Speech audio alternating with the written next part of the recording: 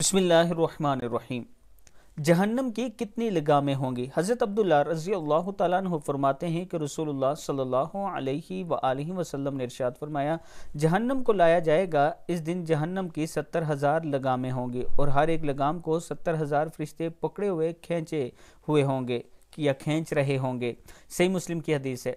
अल्लाह ताला हम सबको जहन्नम के अजाब से महफूज रखे। अल्लाम वरहमल वर्का